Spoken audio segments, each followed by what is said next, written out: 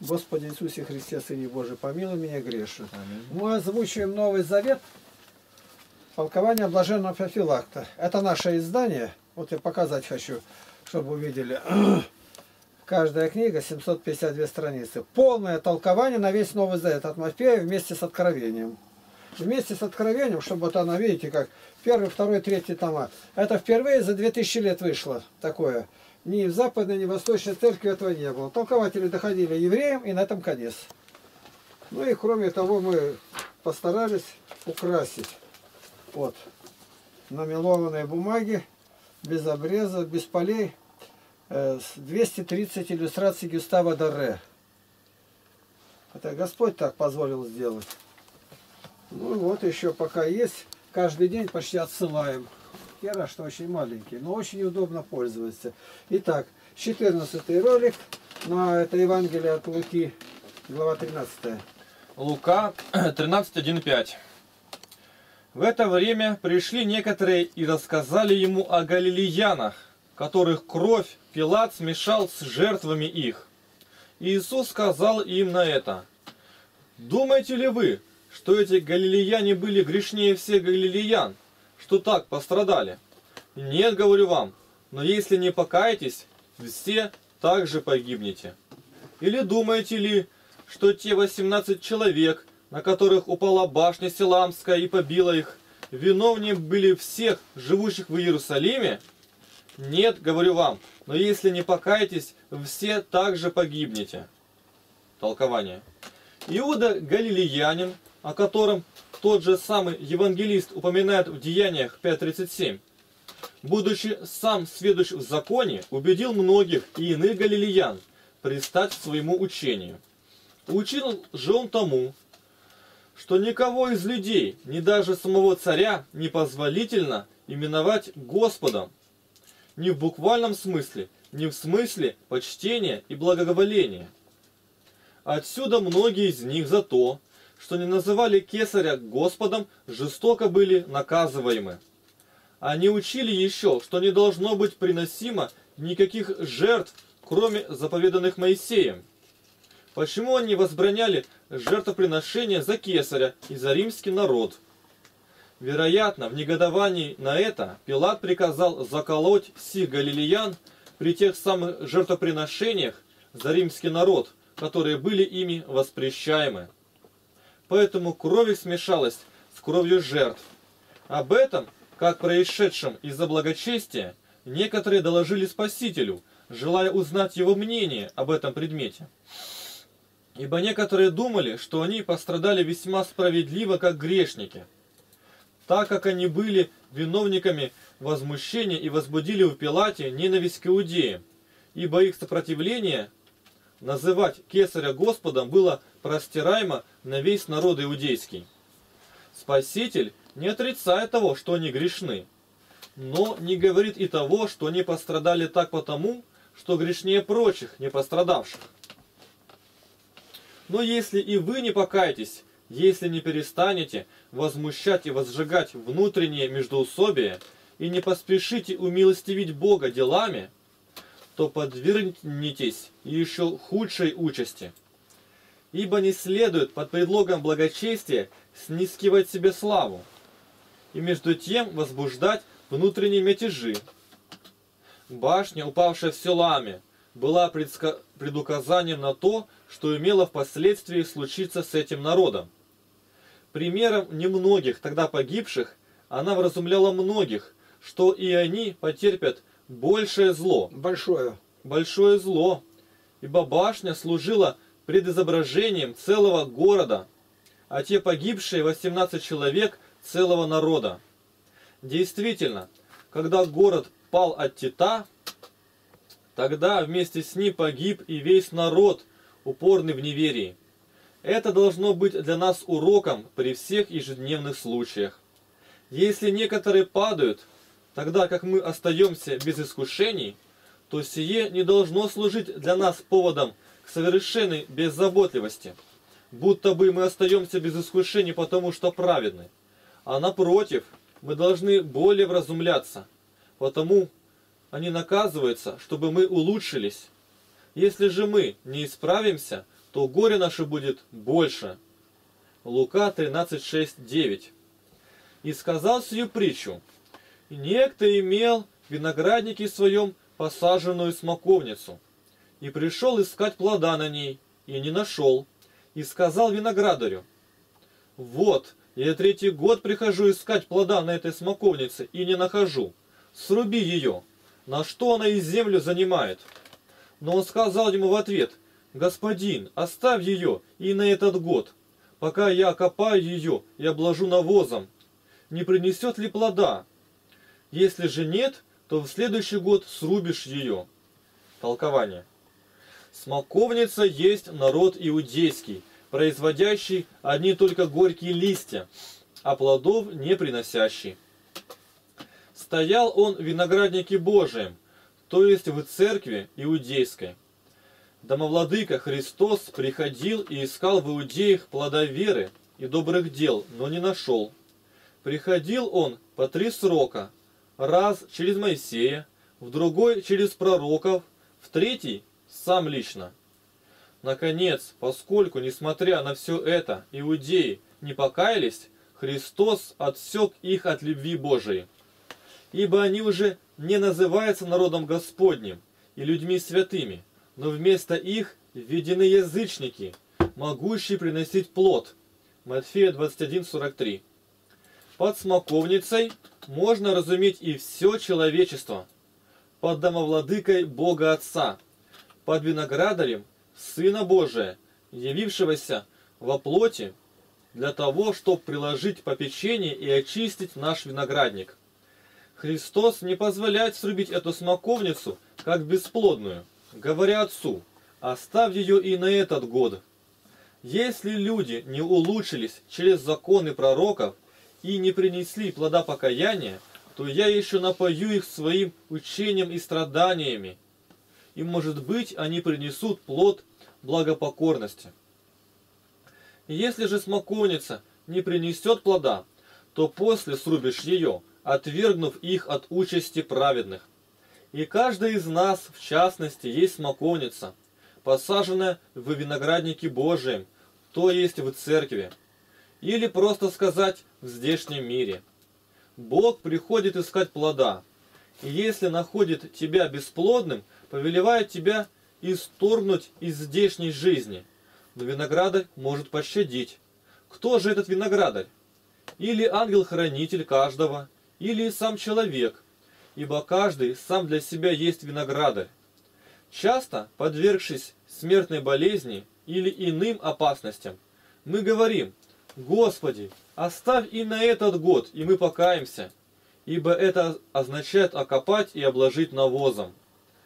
Душа окапывается, когда она отрисает себя пыль житейских забот и делается легкой. Она облагается навозом, то есть теплотой жизни, бесславной и всеми презираемой. Ибо когда кто для спасения души оставляет славу и решается на жизнь бесславную, тогда это называется обложить душу навозом, чтобы она принесла плод. Если принесем плод – то хорошо, а если нет, то Господь не оставит уже нас в своем винограднике, но исторгает из здешнего мира, чтобы мы не занимали напрасно место. И кто видит грешника долго живущим, тот сам портится и делается хуже. И таким образом оказывается, что грешник сам не приносит плода и препятствует другому, который мог бы принести плод.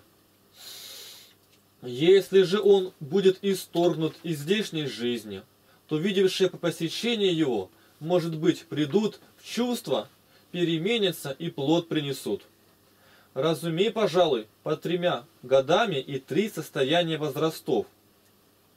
Отрочество или юность, которая считается до 18 лет, мужество или и состояние тех, кое начинают уже сидеть, Поэтому, если мы и на старости, в этот третий год, не принесем плодов, и если нам еще попущено будет жить, чтобы обложить себя навозом, через восприятие бесславной жизни ради Христа, и мы, а мы и опять солжем, тогда Господь уже не пощадит нас, но срубит, чтобы мы не занимали землю напрасно, и притом с вредом для других. Лука 13, 10, 17. В одной же из синагог учил он в субботу. Там была женщина, 18 лет, имевшая духа немощи. Она была скорчена и не могла выпрямиться. Иисус, увидев ее, подозвал и сказал ей, «Женщина, ты освобождаешься от недуга твоего». И возложил на нее руки, и она тотчас выпрямилась и стала славить Бога. При этом начальник синагоги, негодуя, что Иисус исцелил в субботу, сказал народу, есть шесть дней, в которые должно делать. Вы те и приходите исцеляться, а не в день субботний.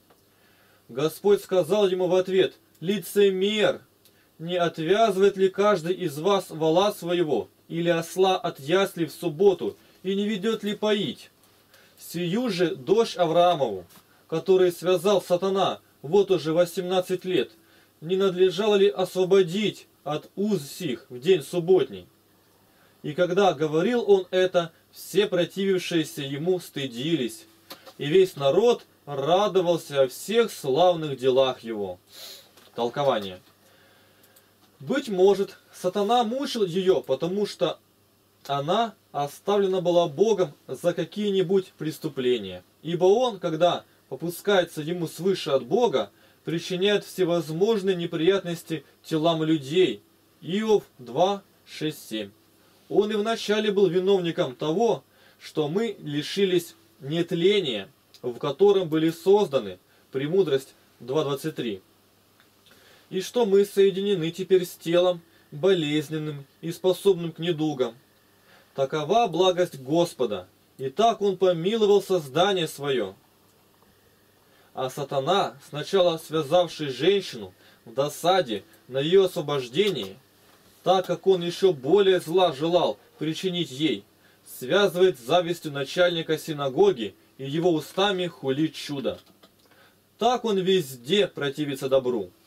Ибо душа бывает скорчена, когда она склоняется к заботам только о житейском и не помышляет ни о чем небесном или божественном. Уже ли не скорчен тот, кто, будучи привязан к земле и постоянно согрешая, нарушает заповеди и не принимает будущего века. Лука 13, 18, 22. Он же сказал, чему подобно Царствие Божие, и чему подоблю его? Оно подобно зерну горчичному, которое, взяв, человек посадил в саду своем, и выросло, и стало большим деревом, и птицы небесные укрывались в ветвях его. Еще сказал, чему подоблю Царствие Божие? Оно подобно закваске, которую женщина, взяв, положила в три меры муки, доколе не вскисло все. И проходил по городам и селениям, уча и направляя путь к Иерусалиму. Толкование. Царствие Божие есть учение и проповедь, ибо через проповедь воцарилось оно в душах человеческих. Как горчица на вид мала, а силы имеет много, так и учение евангельское многие презирают и считают глупостью. Но если человек примет оное и посадит в саду своем, то есть в своей душе, то оно дает большое и ветвистое дерево, и птицы небесные, то есть люди, желающие парить к горнему, укрываются в ветвях его. Ибо возвышающиеся над земным – успокаиваются в ветвях проповеди, то есть в пространных помыслах. Например, Павел принял зерно, небольшое оглашение от Анании, но, посадив это зерно в удобренном своем саду, произвел ветви, то есть обильное и доброе учение. Деяние 9, 17, 22. И послания, в коих укрывались высокие по уму и мудрости – прежде колебались всяким ветром заблуждения. Например, язычники, подобные птицам, по причине удовопреклонности их ума, в какую ни есть сторону, способности к обольщению и по причине большого легкомыслия. Ибо все таковые заблуждающиеся подобны птицам небесным, то есть воздушным. Божественное учение подобно еще закваске, которую, взяв женщина, то есть человеческая природа, положила в три меры муки, то есть в тело, душу и дух. Так что все осветилось, как говорит блаженный Павел, 1 Тимофея 4.5, и стало одним тестом через общение с Духом Святым. Под женщиной можешь разуметь душу, под тремя мерами три ее силы – разум, сердце и волю. Кто в эти силы скроет Слово Божие, тот сделает оные совершенно духовными, так что ни разум не будет сомневаться в учении, ни сердце и воля не будут стремиться к неразумному, но вскиснут и уподобятся Слову Божию. Комментарий Игнатия Лапкина. Одного этого толкования Феофилакта достаточно, чтобы убедить любого, самого упорного православного батюшку, что он не православный, если не исполняет того, что здесь написано. А написан здесь приговор современному православию, превратившемуся в бесконечное обредоверие и суеверие. Проповедь Слова Божия возможна только там, где есть любовь к Богу, любовь к людям. Священники самоустранились по благословению архиерея от любви и решились с народом изъясняться в символах, жестах, мимике. То, что мы сегодня видим, как священник общается с народом, что совершается в храмах, это не имеет никакого отношения к тому, что заповедал Иисус. Не только каждая строка священного писания – но и толкования святых отцов вопиют, обличают современных пастырей, что они не наемники, а люди, которые творят волю свою, волю архиерея и патриарха, и не знают ни Бога, ни Слова Его, ни евангельской веры, ни православной веры. Царствие Божие есть учение и проповедь, ибо через проповедь воцарилось оно в душах человеческих. Нет конца перечню тех атрибутов, притом важных, как считается необходимых. Нет конца тем святыням, которые придумали православные искусники-пустыножители. И все это только для того, чтобы заменить Слово Божие, чем-то заполнить этот вакуум.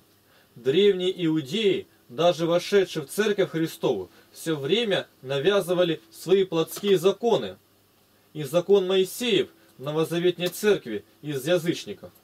Иудеи никак не могли смириться с тем, что Христос достаточен сам по себе для спасения, без субботы и без обрезания. Плотской, невозрожденный человек сам по себе исключительно мелочен. Он не может представить цельную картину и ход развития церкви. Замысел Божий в отношении человека, что все и во всем Христос – плотской человек из тысячи маленьких, кавычках, святых дел пишет свою биографию, считая, что в его активе все это необходимо и не будет лишним. И дьявол это отлично знает и не препятствует. При коммунистическом сатанинском режиме были назначены специальные сатрапы, уполномоченные по религиозным культам, чтобы создать лояльные отношения церкви к государству. Царствие Божие есть учение и проповедь, ибо через проповедь воцарилось оно в душах человеческих. Следователи на допросах говорили проповедникам, кавычки открыты, что вы лезете к людям со своей проповедью. Верили бы, как моя бабушка, и никто бы вас не трогал. Она ходит в церковь, исповедуется и причащается. У нас это разрешено. У нее нет никакой Библии, и ей этого достаточно. У нее есть иконки, которые стоят в шифоньере. Прекратите эту агитацию, иначе мы вас сотрем в порошок. Вы совращаете своей проповедью людей и не даете им быть активными строителями коммунизма. Но архиепископ Феофилакт на основании всех святых отцов учит далеко не так, как учили уполномоченные. И как учат сегодня батюшки. Царствие Божие есть учение и проповедь, ибо через проповедь воцарилось оно в душах человеческих. Божественное учение, подобно еще закваске, три ее силы – разум, сердце и волю. Кто в эти силы скроет Слово Божие, тот сделает он и совершенно духовными, так что ни разум не будет сомневаться в учении, ни сердце и воля не будут стремиться к неразумному, но вскиснут и уподобятся Слову Божию. Лука 13, 23, 30. И некто сказал ему, Господи, неужели мало спасающихся?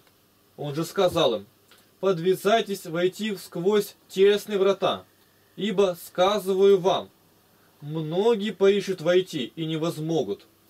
Когда хозяин дома встанет и затворит двери, тогда вы, стоя вне, станете стучать в двери и говорить, «Господи, Господи, отвори нам!» Но он скажет вам в ответ, «Не знаю вас, откуда вы?» Тогда станете говорить, «Мы ели и пили пред тобою, и на улицах наших учил ты». Но он скажет, «Говорю вам, не знаю вас, откуда вы, отойдите от меня, все делатели неправды». Там будет плач и скрежет зубов. Когда увидите Авраама, Исаака и Иакова и всех пророков в Царстве Божьем, а себя изгоняемыми вон, и придут от востока и запада, и севера и юга, и возлягут в Царстве Божием. И вот, есть последние, которые будут первыми, а есть первые, которые будут последними. Толкование. Спасающихся мало, потому что узкие врата не могут вместить многих. Хозяин дома есть Господь, Он всех людей созывает к насыщению и наслаждению неистощимыми благами. Те, кои рачительны, стараются войти прежде часа самого обеда.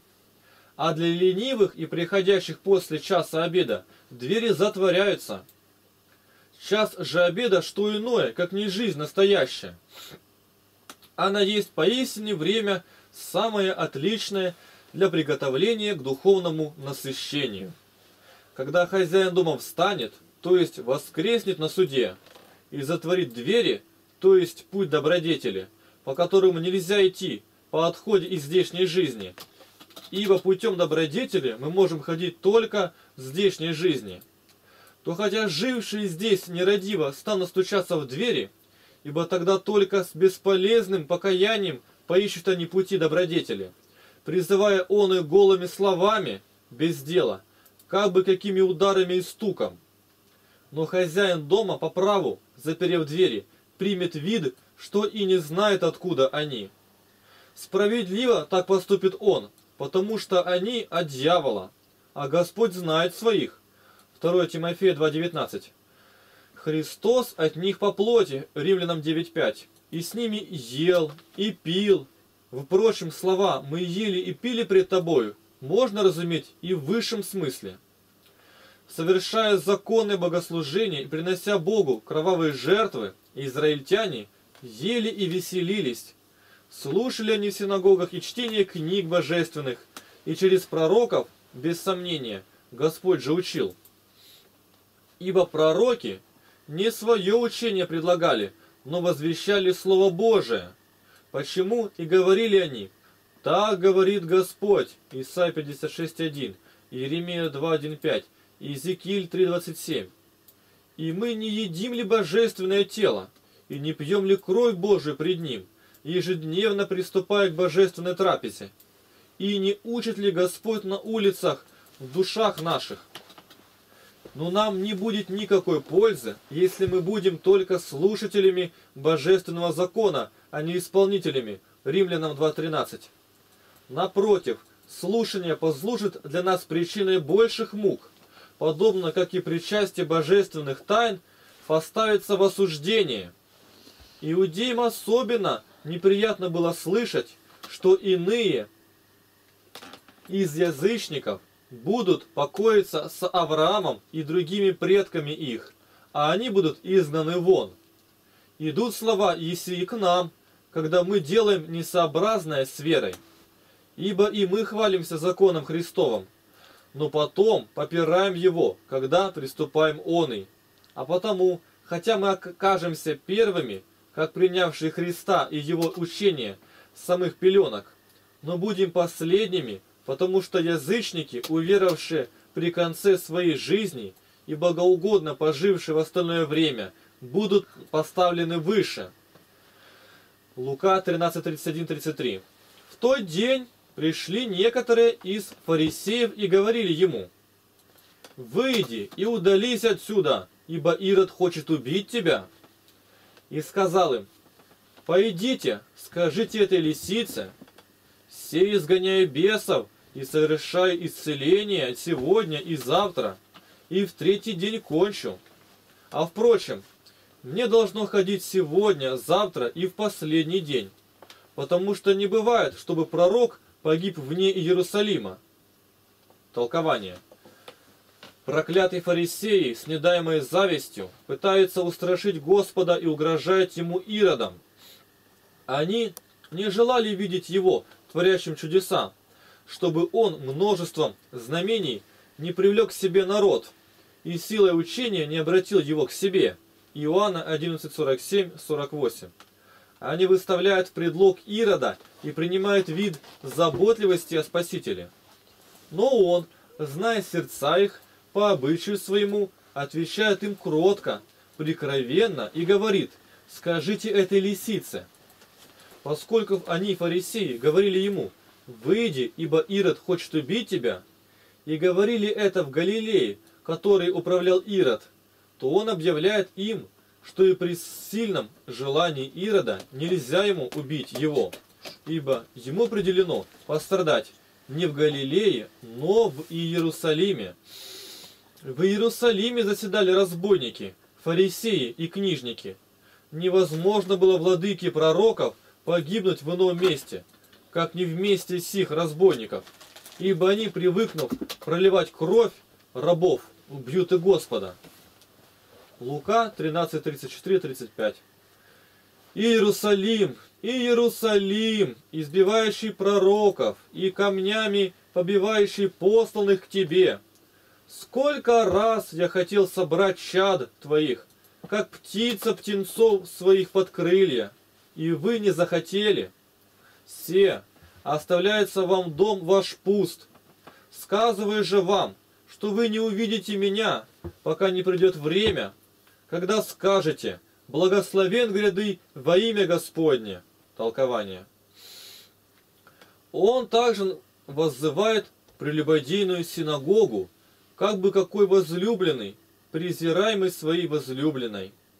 Ибо я столь возненавидел ваше лукавство, что и храм не называю моим домом, но домом вашим. Ибо доколе между вами жила добродетель, тогда храм был мой. А когда вы и его осквернили, сделали его местом торговли и пещеры разбойников, занимаясь в нем многообразной торговлей и убивая друг друга из любостяжания, ибо это дело разбоя подсиживать брата и отнимать его собственность. Так делают разбойники. Они нападают на путника и потом отнимают, что у него есть. Итак, когда вы сделали храм пещеры разбойников через разные торговые сделки, которые вы производили в нем, в доме молитвы, то он уже не мой дом, но ваш. Под домом можешь разуметь не только храм, но и весь род иудейский. Ибо Писание иногда и род называют домом. Например, дом Левиин, благословите Господа. Псалом 134.20. Поскольку и здесь можно разуметь так. Дом, то есть род ваш, оставляется мной. Подобно как и в другом месте говорит через пророка, «Оставил я дом мой, оставил наследие мое». Здесь домом называются израильтяне. Указывают на второе пришествие, ибо тогда и против воли исповедуют его Спасителем и Господом. Только не будет им никакой пользы, когда Он говорит, что не увидите меня отныне. То не тот час обозначает, но время после креста. Он как бы так сказал, с того времени как вы распнете меня, вы уже не увидите меня, пока не приду во второй раз. Все. Я еще две минуты как бы не дошло.